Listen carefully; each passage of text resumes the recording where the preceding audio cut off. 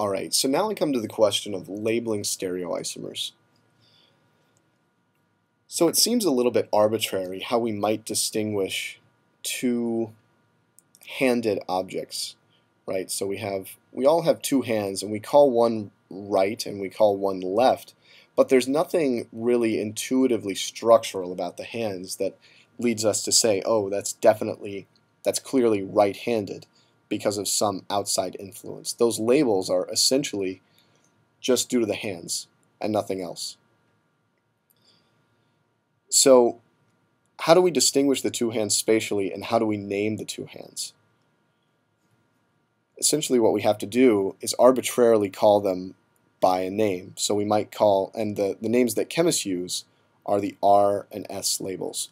So R refers to one hand molecule, S to another.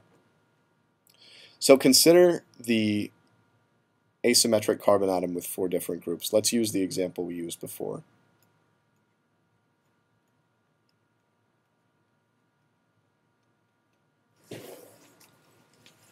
Essentially what we need to do for this is pick, first of all, an absolute point of reference. So if you're looking at your hands, you would need to pick, for instance, whether you were looking at the palms or the back of your hands. Once you decided on that, then you have an absolute sort of point of view where you can say, okay, one finger is on one side of another finger, for instance. So on your left hand, if you're looking at your palms, the left index finger is to the left of your middle finger on the left hand side. However, on your right hand, that index finger is to the right. So we can spatially distinguish the hands by fixing them in an absolute point of reference, then looking at the positions of the fingers. And that's essentially what we do with asymmetric carbons as well. So the convention is we fix the absolute point of reference so that the H is going back into the plane of the page. Hmm. Excuse me. And then, once we have that, we look at the other three substituents and their, first of all, their priorities and the rotation of those priorities as we go around. So the most general procedure is we take a carbon with four different substituents, a stereogenic carbon like that, and we prioritize the substituents based first of all on atomic number and then based after if atomic number doesn't do the trick then we look for the number of higher atomic number atoms attached, the number of, for instance, carbons or oxygens attached, and we just go down the line until we can prioritize one substituent over the other. So in this very simple example, the highest priority would go to bromine, the largest atom, followed by chlorine, fluorine, and hydrogen. And then the convention is to place the lowest priority substituent, that hydrogen, going back into the plane of the page. Once we do that, then we would have the substituents of priority 1, 2, and 3 left over. And really there are only two ways for these substituents to be oriented. One way is to have the three substituents going around in a counterclockwise direction, as we have here. And then if I switched, for instance, the fluorine and the chlorine, then we would have the 1, the 2, and the 3 going around in a clockwise direction, and I'll just label that in red sort of this light red. And these are the two possible enantiomers of this compound.